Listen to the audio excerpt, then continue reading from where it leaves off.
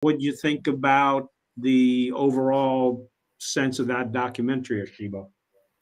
I mean, yeah, when I when I watched it, I really enjoyed learning more about Drake, not just as a basketball player, but as a person as well. We get a lot more uh, knowledge about his family, himself, what he likes to do outside of basketball as well, like the art aspect that he likes to go to art museums and do his own things, um, do, do his own art as well.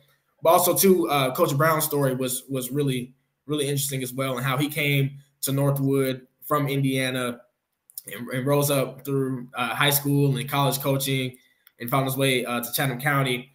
Um, so definitely some great insight on Northwood's, you know, Northwood's big names as far as Drake Coach Brown, but also uh, you know a really really great in depth dive into kind of how their season went, especially at the end. We got a look into their locker room, you could just tell how much you know these games that playoff run meant to those guys, especially with it being Drake's senior year.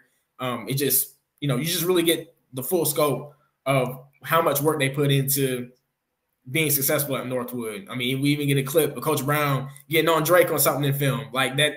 They're they're you know spread throughout the whole team. Um, they were just all on one accord the whole year, and it was really cool to to see that unfold um, with uh, Pat Welter's Pat Welter's story. Yeah, the interesting thing too about it is, um, I think the impression I got from watching that is not only was Coach Brown good for Drake, but Drake was good for Coach Brown.